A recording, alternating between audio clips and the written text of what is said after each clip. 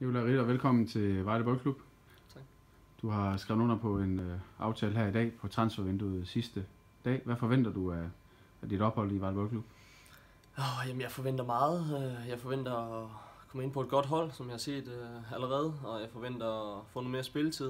Øh, Jeg forventer, at det er en god klub, en sund klub, jeg kommer til, øh, hvor der er nogle høje ambitioner.